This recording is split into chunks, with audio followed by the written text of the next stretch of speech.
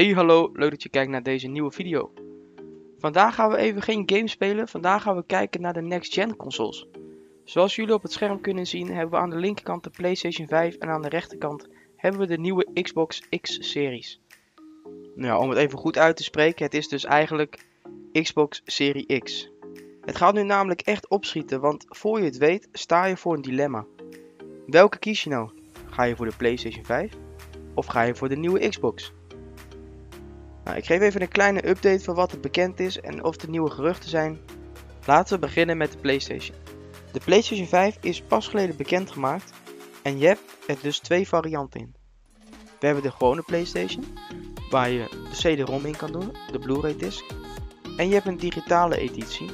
En meestal zal die met de disc iets duurder zijn dan die zonder disc, omdat er gewoon een onderdeel niet in zit.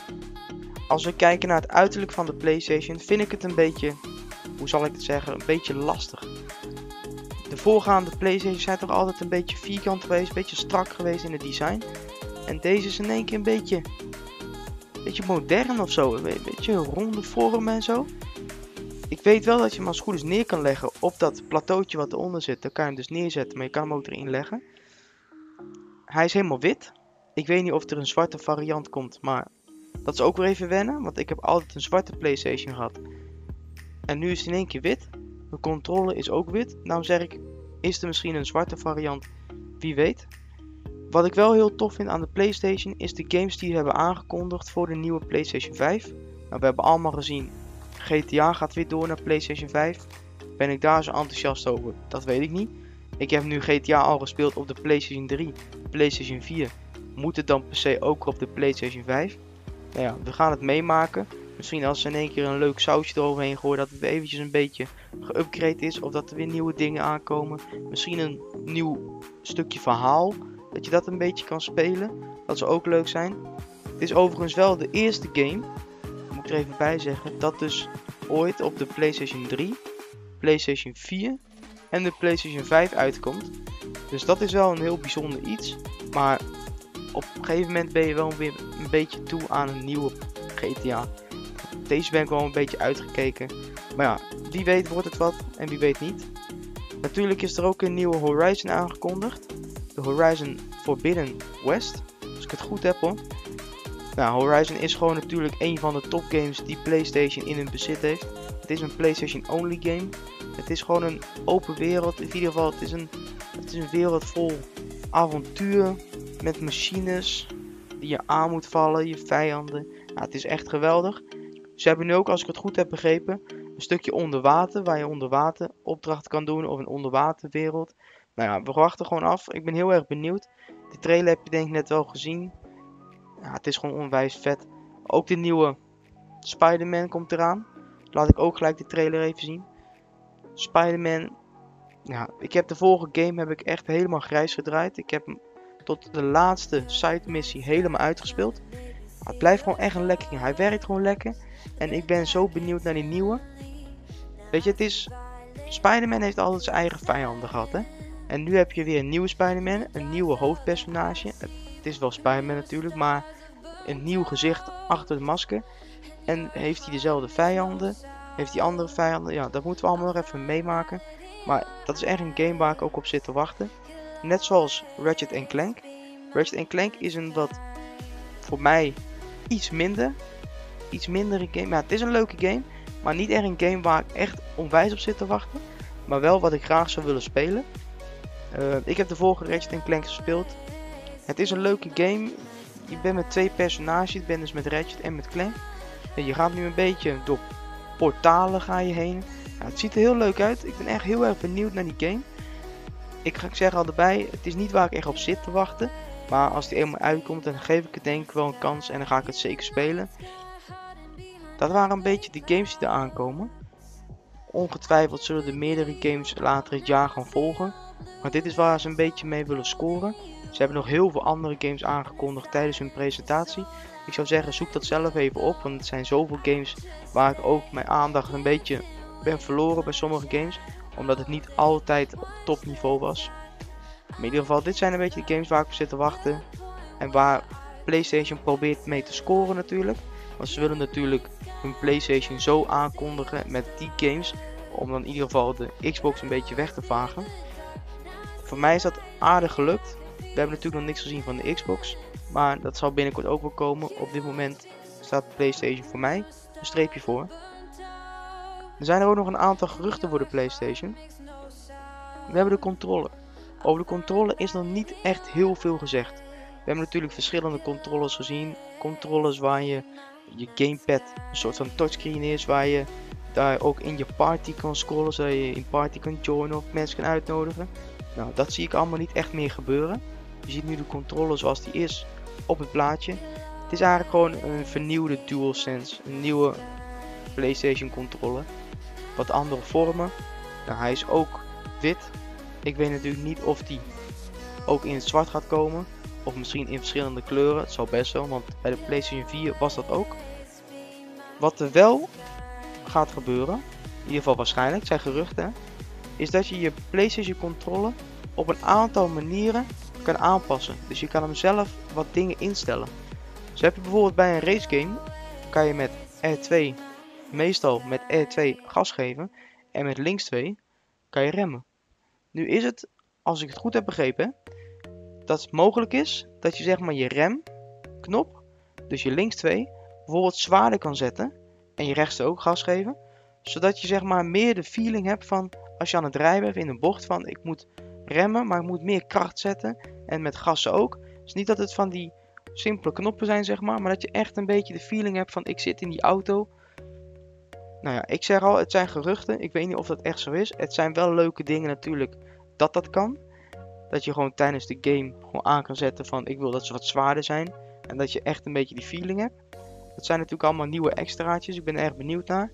Er is nog niet echt veel meer bekend over de controle. Nou ja, er zit natuurlijk een microfoontje in de controle zelf. Is ook altijd wel handig als je bijvoorbeeld een koptelefoon die draadloos is bijvoorbeeld.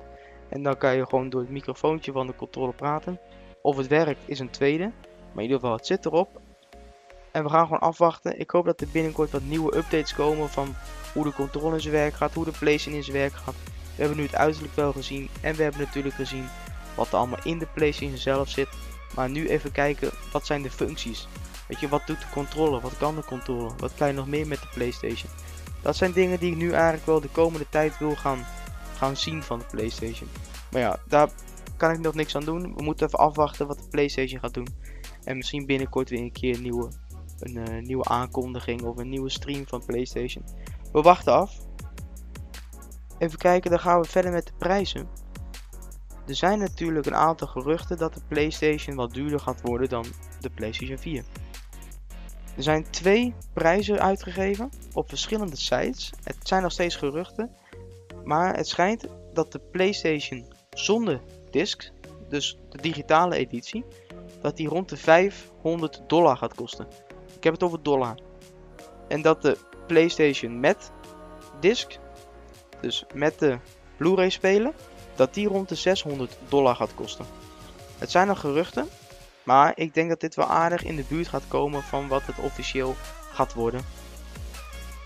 Verder nog een gerucht waar ik wel echt op zit te wachten en ik hoop dat dat ook echt gaat gebeuren, is dat je de behuizing van de PlayStation zelf kan aanpassen. Ik denk dat iedereen wel heeft gezien op Insta of op andere platformen dat ze elke keer bijvoorbeeld een PlayStation zien met een andere behuizing. Dus heb je bijvoorbeeld een Spider-Man behuizing, je hebt een Last of Us 2 behuizing, Horizon, noem maar op. Die behuizingen, die kan je dus, als ik het goed heb begrepen, loskopen. En die kan je er zelf eraan vast monteren of erop klikken of iets. Zodat je altijd je eigen samengestelde PlayStation hebt. Ik vind dat onwijs tof, want ik vind dat witte, omdat ik daar niet zo dol op ben, vind ik wat minder. Dus als je dan bijvoorbeeld nu je behuizing van de Spider-Man game of de nieuwe Horizon game kan aanpassen, dat is echt iets waar ik op zit te wachten. Het is niet dat ik dan zeg maar 20 van die behuizingen ga kopen. Waarschijnlijk zal ik misschien eentje in het jaar, misschien half jaar, een keer een nieuwe behuizing kopen. Maar zodat je wel gewoon elke keer een nieuwe PlayStation hebt, soort van. Als we nu verder gaan kijken naar de Xbox, pakken gewoon de Xbox er even bij. Nou, zoals ik kan zien, het uiterlijk is wat simpel, vind ik. Het is een vierkante toren eigenlijk. Met een gleuf aan de voorkant waar je het CD-ROM in kan doen.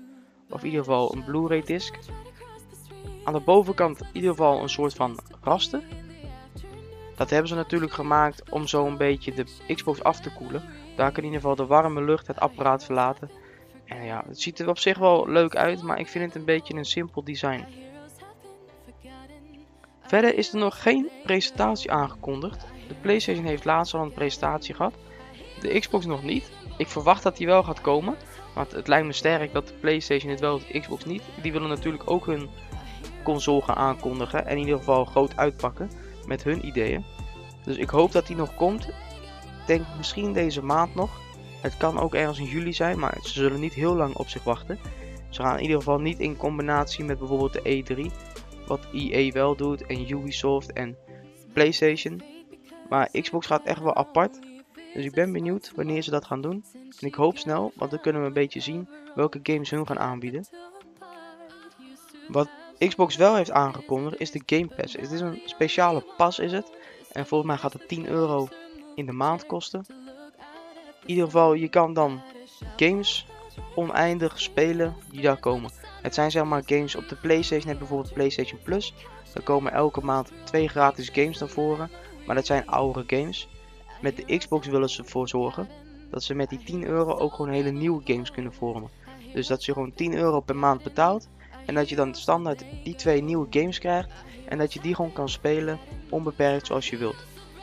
Ik denk, als dat echt zo is en als het echt gaat lukken, dat het best wel een gat in de markt kan zijn. Want aangezien de PlayStation dat niet doet. Voor 10 euro, als je een spel koopt, een nieuw game, weet je wel, dan betaal je ongeveer 60 euro een game. 65 euro. Je hebt er nu twee dan nodig. Dus je al op de 120 sowieso. De Xbox die zegt, wij doen gewoon een 10 euro abonnement.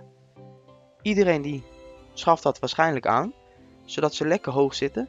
En dan heb je eigenlijk een soort van Netflix, maar dan voor games. En dat wil de Xbox nu gaan creëren. En ik denk dat de Xbox, als het echt gaat lukken, dat het best wel een hele goede stap kan zijn.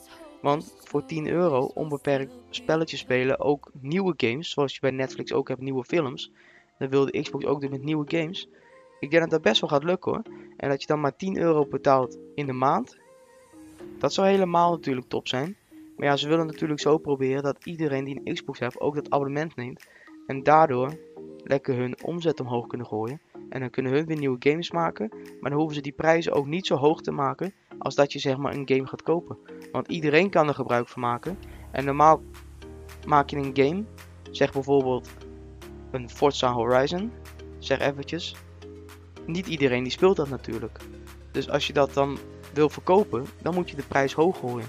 Maar als je een abonnement hebt dat elke Xbox gebruiker heeft, dan zit je goed natuurlijk. Want dan kan de Xbox gewoon zeggen van we gaan nu een game uit uh, nieuw releasen. En die zetten we gewoon op die Game Pass of op dat abonnement. En iedereen kan er gebruik van maken. Dus je zit altijd gewoon goed met je abonnees. Ik denk dat dat dus echt wel een grote stap kan zijn. En misschien wel echt een goede zet kan zijn. Om toch misschien voor die Xbox te kiezen. Voor die nieuwe mensen natuurlijk. Voor de Xbox te kiezen. In plaats voor de Playstation. Maar wie weet komt de Playstation ook wel met een nieuwe strategie. We wachten nog even af, want het is nog niet zo ver. Maar ik denk dat ze daar een hele goede zet hebben. Er zijn ook bij de Xbox een aantal geruchten die rondgaan in de wandelgangen. Zoals bijvoorbeeld de prijs. Het schijnt dus dat de Xbox echt heel laag gaat zitten met hun prijs. Ik heb van verschillende filmpjes en van verschillende uh, teksten heb ik gelezen dat ze zeggen ja, de crisis komt eraan. We gaan gezeik krijgen met hoge prijzen als we het echt hoog gaan verkopen. Laten wij de Xbox gewoon heel laag houden. Misschien dat we zelfs een beetje verlies draaien. Dus als we dan de Xbox bijvoorbeeld voor 400 dollar, en dat is echt laag hè, voor 400 dollar verkopen, dan hebben we een beetje verlies. Maar als we dan die Game Pass, of hoe dat heet, gaan verkopen, het abonnement, dat we daarmee dan weer dingen terug gaan verdienen. Het is natuurlijk een hele, hele spannende stap die ze gaan maken. Want stel het loopt niet en je draait verlies, dan zit je natuurlijk niet heel lekker op de markt. Maar ja, dat is een beetje wat hun willen. Ook zijn er geruchten dat er een soort van Xbox Slim. Een wat eenvoudige nieuwe Xbox aankomt. En het schijnt dan een beetje een upgrade te zijn van de Xbox One die er nu is. En het zal een beetje ertussenin zitten. En die schijnt zelfs 200 euro te gaan worden, of 200 dollar. Dus die zit gewoon halverwege de nieuwe Xbox Serie X. Ja, ik, ik weet het niet. Ik weet niet of dat wat gaat worden. Ik weet niet of je dan de nieuwe games natuurlijk kan spelen erop. Ze zeggen van wel, maar ja, de kwaliteit zal natuurlijk iets minder zijn dan gewoon op de nieuwe console. Maar ja, het is natuurlijk wel een idee natuurlijk om je Xbox One up te graden naar een nieuwe Xbox. En waar je gewoon ook de nieuwste X nieuwe Xbox spellen kan spelen. Ik moet het afwachten. Maar het is natuurlijk wel ideaal als je een PlayStation koopt en je zegt ik wil ook een Xbox spel spelen, bijvoorbeeld een Halo, wat niet op de PlayStation te spelen is. Dat je gewoon zegt, nou weet je wat, dan koop ik die goedkope variant voor die enkele games die ik heb. En dan kan je alsnog de Xbox spellen spelen die uitkomen. En de Xbox heeft natuurlijk dan ook weer een extra omzet die ze krijgen. Want de meeste mensen die een PlayStation hebben, gaan niet voor de Xbox. Maar als de Xbox zo goedkoop is, ja, misschien een twijfel van, je neemt die Xbox er ook nog even bij. Maar ja, dat moeten we allemaal even afwachten. Het is nog niet zeker dat dat echt gaat gebeuren. Maar de geruchten zijn er wel. Dus ik ga ervan uit dat dat misschien in een eventuele presentatie die ze gaan geven aangekondigd gaat worden. Stel, ik moet nu gaan kiezen. Maar ook echt op dit moment. Van ga ik nu voor de PlayStation? Ga ik voor de Xbox? Dan ga ik op dit moment natuurlijk voor de PlayStation. Ik ben altijd al een PlayStation man geweest. Ik heb hier gewoon een aantal PlayStations heb ik staan. Weet je, dat is gewoon. Daar ben ik mee opgegroeid en ik zou altijd voor de PlayStation gaan. Ook natuurlijk voor de games. Net zoals nu The Last of Us 2 die uit is gekomen, die ik helemaal geweldig vind. Maar je hebt ook de Uncharted games. En natuurlijk nu de Horizon Zero Dawn die aangekondigd is. Dat zijn toch games, weet je, waar ik me echt, echt mee vermaak. En ja, zoals ik al zeg, PlayStation blijft gewoon in mijn, ja, in mijn leven altijd. Wil niet zeggen, dat moet ik eerlijk zeggen, als de Xbox zo goedkoop wordt, zoals de geruchten gaan, dat ik misschien niet een Xbox erbij neem. Een Xbox is natuurlijk altijd leuk om de games die niet op de PlayStation komen. Vooral een Halo game bijvoorbeeld, daar ik helemaal, waar ik altijd helemaal gek van ben. Die ik nu ook laatst op de PC heb gespeeld. Maar in ieder geval, lijkt me ook wel leuk om dat te spelen. Dus ik denk dat ik misschien, en zoals ik al zei, je hebt die 200 dollar variant, de slim zeg maar. Om misschien zoiets erbij te kopen. Of als daadwerkelijk echt de Xbox zelf zo goedkoop is. Of in ieder geval in verhouding met de Playstation. Om dat in een late stadium van het jaar. Om dan misschien de Xbox bij te halen. Dat zijn allemaal opties. Op, voor het eerste keuze ga ik voor de Playstation. Denk ik later van Xbox is vrij goedkoop en heeft leuke games. Misschien dat ik er, dat ik er zelfs dan nog een Xbox bij doe. Moet ik nog even afwachten. Ik ben heel erg benieuwd naar welke console jullie gaan halen. Als jullie überhaupt een nieuwe console gaan halen. Gaan jullie voor de Playstation of gaan jullie voor de Xbox? Laat het even weten in de comments. Daar ben ik heel erg benieuwd naar. En bij deze wil ik gewoon dan de video afsluiten. Ik hoop dat jullie het een leuke video vonden. Het is even een andere video dan wat we normaal hadden verwacht. Het is even een beetje een update. Er zijn een aantal geruchten verteld. Ik weet natuurlijk niet of het waar is. Het zijn immers geruchten. Maar het lijkt me toch wel leuk, zoals bij die PlayStation, dat je je PlayStation zelf helemaal kan aanpassen. In ieder geval de behuizing. Het lijkt me toch wel een leuk idee dat dat kan. En ik ben daar heel erg benieuwd naar. De Xbox moet het nog even afwachten. Komt waarschijnlijk binnenkort een presentatie van. Dan gaan we die gezamenlijk weer kijken op ons kanaal. En hou het kanaal gewoon in de gaten. Binnenkort weer misschien een aantal livestreams. We gaan weer een aantal spellen opnemen voor video's. En het zal dan waarschijnlijk weer een video zijn waar we aan het gamen zijn. Of misschien weer een nieuwe update video. We zullen het zien. En dan zie ik jullie in de volgende video. Vergeet trouwens niet te abonneren en te liken.